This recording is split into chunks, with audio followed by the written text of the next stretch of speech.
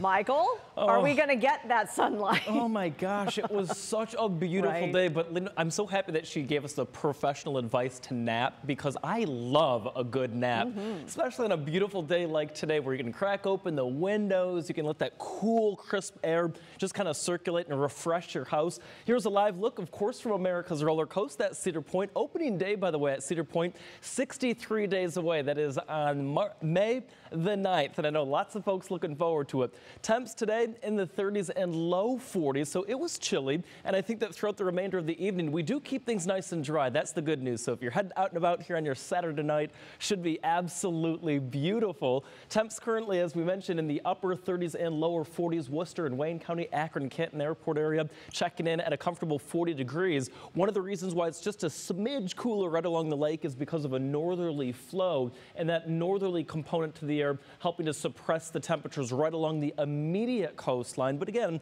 farther inland, things feeling fine in the low 40s, but falling currently.